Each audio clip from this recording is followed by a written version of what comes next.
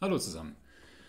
Beim letzten Mal habe ich Ihnen ein bisschen was darüber erzählt, wie man philosophische Texte lesen sollte. Und heute wollen wir damit anfangen, das auch mal in die Praxis umzusetzen und uns den ersten unserer Aufsätze anschauen. Das heißt, wir werden uns heute und auch in den nächsten beiden Wochen mit dem Aufsatz von Thomas Nagel Wie ist es, eine Fledermaus zu sein, beschäftigen. Erschienen ist der Aufsatz schon 1974 ähm, und ohne Zweifel ist das Thomas Nagels berühmtester Aufsatz. Auch heute ist es noch einer, der viel gelesen und viel diskutiert wird und man kann sagen, es ist eine Art moderner Klassiker für die Philosophie des Geistes geworden.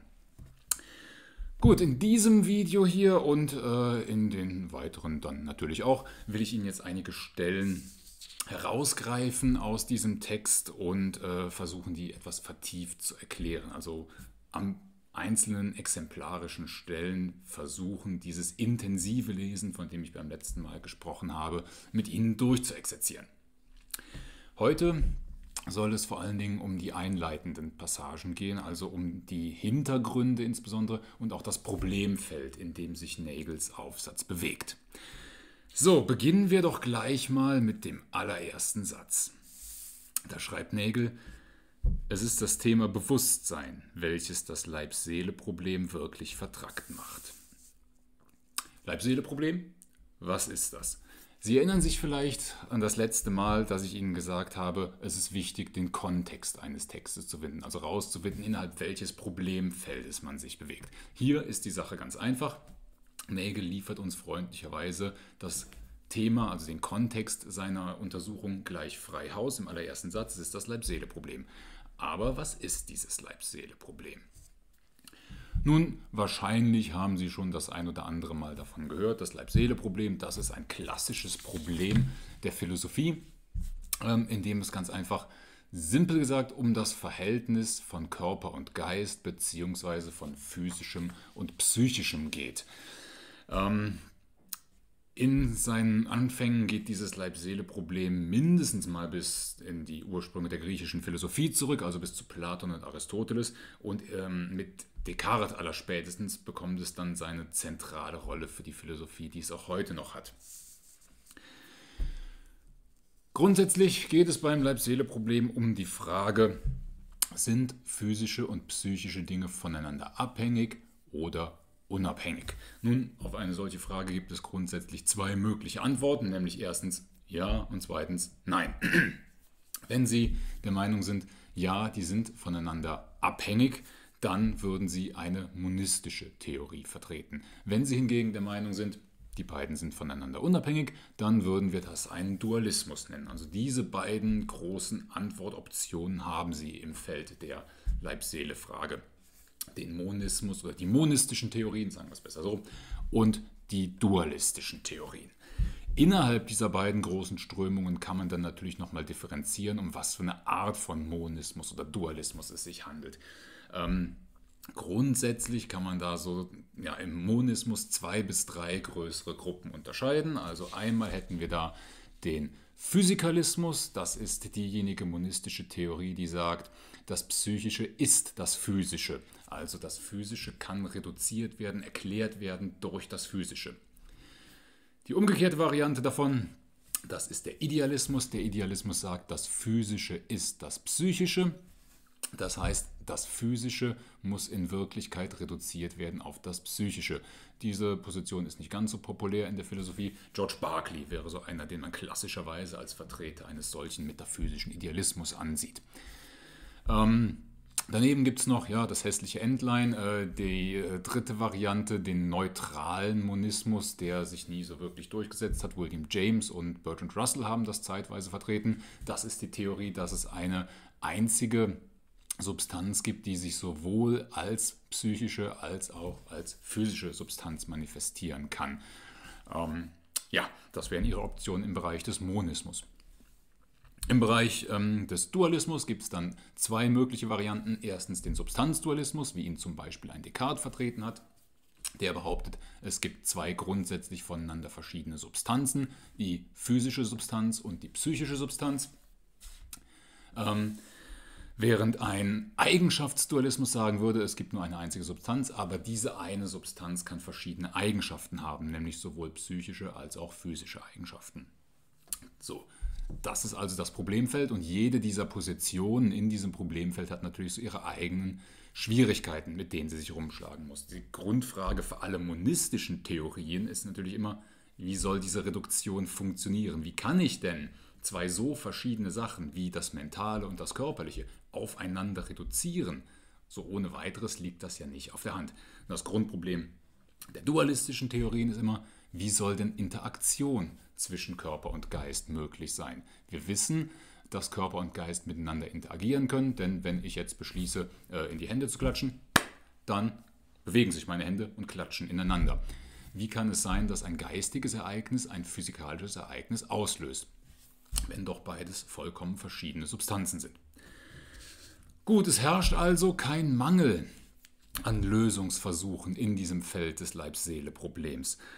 Ähm, Nägel sagt uns ja, aber das eigentliche Problem das ist das Bewusstsein. Was meint er denn eigentlich mit Bewusstsein an dieser Stelle und warum ist das Bewusstsein so problematisch? Nun, am besten gucken wir dazu auch nochmal kurz in den Text rein, ein bisschen weiter unten äh, auf der äh, zweiten Seite in ihrer Ausgabe.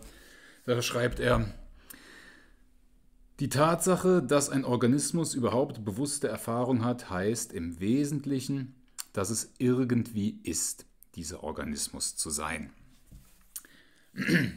Das ist eine sehr bekannt gewordene Formulierung, die der Nägel hier gefunden hat ähm, und die auch intuitiv, finde ich, sehr gut verständlich ist. Bewusstsein, das heißt, es ist irgendwie dieses bewusste Wesen zu sein. Also Bewusstsein sollten wir nicht verwechseln mit irgendeiner Form von, sagen wir mal, Verhalten oder mit der Fähigkeit zu interagieren mit anderen, so wie wir das vielleicht machen würden, wenn wir sagen, ähm, jemand ist bei Bewusstsein im Gegensatz zu äh, er schläft gerade. Also wer gerade schläft, der ist nicht bei Bewusstsein und das äh, erklären wir dadurch, dass er ja nicht äh, reagiert, wenn ich ihn anspreche oder sich nicht äh, willkürlich bewegen kann oder so etwas. Aber das ist nicht das, was gemeint ist für Nägel. Ähm, Bewusstsein heißt ganz einfach, es fühlt sich irgendwie an, dieses bewusste Wesen zu sein. Mit einem anderen Wort könnten wir das so ausdrücken, Bewusstsein ist Subjektivität. Es fühlt sich irgendwie an, dieses Wesen zu sein. Das heißt, ich bin das Subjekt der Erlebnisse dieses Wesens, das ich bin. Ähm, verdeutlichen wir uns das vielleicht mal an einem kleinen Beispiel. Äh, vergleichen Sie einmal mich mit äh, der Kaffeetasse, die ich hier auf meinem Schreibtisch stehen habe. Ich bin ein bewusstes Wesen. Ich habe ein Bewusstsein. Ich bin ein Subjekt von Erlebnissen. Für mich sind bestimmte physikalische Ereignisse in mir und um mich herum irgendwie. Es fühlt sich irgendwie an, Subjekt dieser physikalischen Ereignisse zu sein. Für die Kaffeetasse hier fühlt sich nichts irgendwie an. Auch die Kaffeetasse unterliegt bestimmten physikalischen Ereignissen. Also zum Beispiel sitzen wir beide, ich und die Kaffeetasse, im gleichen Raum und äh, sind äh, der gleichen Raum- oder Lufttemperatur ausgesetzt. Für mich fühlt es sich irgendwie an, von einer so und so temperierten Luft umgeben zu sein. Also vielleicht fühlt sich das irgendwie ein bisschen kühl an oder sowas. Für die Kaffeetasse nicht. Für die Kaffeetasse ist es nicht irgendwie in diesem so und so temperierten Raum zu sein. Sie ist einfach da drin und ja, hm, das war's. Also wir wissen aus eigenem Erleben so mehr oder weniger, was Nagel mit seinem es ist irgendwie meint. Wir verstehen Nägel, wenn er uns das sagt. Bewusstsein heißt, dass es sich so und so anfühlt, ein Wesen zu sein. Allerdings haben wir Schwierigkeiten, präzise zu sagen, was damit gemeint ist. Intuitiv ist es ganz klar, was er meint. Wir alle kennen das aus eigener Erfahrung, was Bewusstsein heißt. Aber wir können es nicht wirklich erklären. Nägel nennt das dann, ein bisschen weiter unten, den subjektiven Charakter und sagt, Bewusstsein, ja, das ist dieser subjektive Charakter. Weiter heißt es dann an dieser ersten Stelle hier, reduktionistische Analysen von Bewusstsein. Und er bringt eine ganze Reihe Beispiele von solchen reduktionistischen Analysen in anderen Gebieten, ne, also Gen und DNS und so weiter. Er sagt er, diese reduktionistischen Analysen, die sind zweifelhaft. Und da müssen wir uns jetzt fragen, äh, was heißt denn eigentlich Reduktionismus? Was ist das, eine reduktionistische Analyse? Nun grundsätzlich äh, versteht man unter Reduktionismus einfach nur die These, dass bestimmte Dinge oder Eigenschaften, die scheinbar voneinander verschieden sind, in Wirklichkeit identisch sind. Ähm, wenn sie identisch sind, dann kann ich die einen Dinge durch die anderen erklären. Das klingt jetzt ein bisschen kompliziert, ist aber eigentlich eine ganz einfache und uns allen sehr gut vertraute Sache. Nehmen wir mal eines der Beispiele, die Nagel selbst verwendet ähm, und exerzieren das mal durch daran. Er spricht vom Beispiel Blitz und elektrische Entladung. Wir stellen uns die simple Frage, was ist das eigentlich, ein Blitz? Gut, früher mögen unsere Vorfahren vielleicht geglaubt haben, dass da irgendwo auf dem Olymp in den Wolken der Göttervater Zeus sitzt und der schleudert dann die Blitze auf uns herunter und erklärten sich so, was Blitze sind. Aber das ist keine besonders gute Erklärung. Sie ist nämlich zum einen relativ kompliziert, denn sie zwingt uns dazu, irgendwelche unsichtbaren Wesen im Himmel anzunehmen, die Blitze schleudern können und die man auch ansonsten irgendwie nicht sehen kann und die sonst nicht wirklich beobachtbar sind. Und zum anderen erklärt sie eigentlich auch gar nicht, was wir wissen wollen. Sie erklärt uns nicht, was ein Blitz ist, sondern ähm, sie sagt nur, wo er herkommt, aber nicht, was da eigentlich passiert. Eine reduktionistische Analyse ist da viel eleganter und auch viel einfacher. Wenn wir reduktionistisch denken, dann versuchen wir den Blitz durch etwas zu erklären, was wir schon kennen. Ähm, in dem Fall wären das ganz einfach die Naturgesetze der Elektrizität. Ein Blitz, sagen wir dann, das ist eine elektrische Entladung zwischen den Wolken und der Erde. Punkt. Blitze und elektrische Entladungen sind also nicht zwei verschiedene Dinge, sondern sie sind eigentlich das gleiche. Also elektrische Entladungen, die wir vielleicht ähm, aus irgendwelchen anderen Kontexten kennen, also wenn Sie sich mit einem Luftballon äh, an den Haaren reiben und dann so einen kleinen Funken äh, erzeugen, ist das eine elektrische Entladung und ein Blitz ist im Prinzip nichts anderes. Es sind die gleichen Sachen, nur in verschiedenen Kontexten. Wenn ich also verstehen will, was Blitze sind, dann muss ich nur verstehen, wie elektrische Entladungen funktionieren. Das heißt, ich kann mit Hilfe elektrischer Entladungen vollständig erklären, was Blitze sind. Wir brauchen keine besonderen Blitzgesetze oder so etwas. Wir müssen nicht das Wesen des Blitzes ausfindig machen, sondern ganz einfach alle die Gesetze, äh, denen die Blitze unterliegen, also die Naturgesetze, die erklären, was Blitze sind, die sind bereits in den Naturgesetzen enthalten, die wir kennen, in den Gesetzen der Elektrizität. Das Wichtige an der Stelle ist jetzt, alles, was es über Blitze zu sagen gibt, über ihre Eigenschaften, ihre Entstehung und so weiter und so fort, das kann ich verlustfrei übersetzen in die physikalische Sprache der Elektrizität. Es geht also nichts verloren. Ähm, alles das, was sich über Blitze sagen lässt, kann genauso, wie es in der alltäglichen Sprache ausgedrückt wird, in der Sprache der Elektrophysik ausgedrückt werden. Wenn es funktioniert hat, habe ich eine reduktionistische Erklärung von Blitzen vorgelegt. Wenn ich einfach sage, Blitze sind elektrische Entladung. Reduktionismus ist uns allen sehr gut vertraut, denn der Reduktionismus ist eine der wichtigsten Methoden der Naturwissenschaft und als solche auch ziemlich erfolgreich, muss man sagen. Warum sollte dann also eine solche reduktionistische Erklärung nicht auch für das Leib-Seele-Problem funktionieren?